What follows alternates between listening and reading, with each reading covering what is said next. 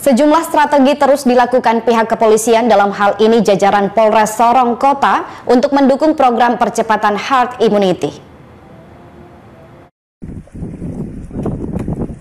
Masih rendahnya partisipasi warga masyarakat dalam mengikuti vaksin di wilayah kota Sorong, Papua Barat menyebabkan tingkat herd immunity di wilayah tersebut baru mencapai 48 persen.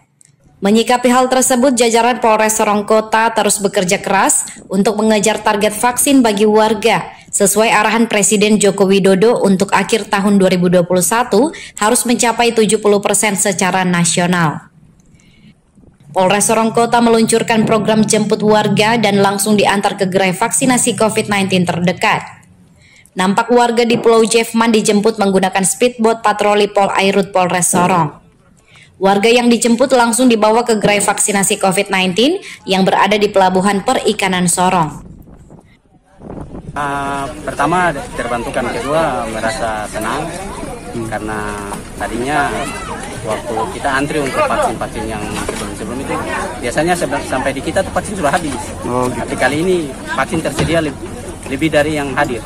Ini dengan siapa saja Pak? Keluarga sama uh, dengan warga? warga Yekman. Oh Yekman. Polres Sorong Kota membuka 11 gerai vaksinasi COVID yang tersebar di sejumlah titik di kota Sorong. Hal ini dilakukan untuk mendekatkan lokasi vaksinasi dengan tempat tinggal warga. Selain itu juga program jemput dan antar kembali warga yang telah divaksin terus dilakukan oleh personel Polres Sorong Kota. Dari kota Sorong, Papua Barat, Chandri Andrew Suripati, iNews melaporkan.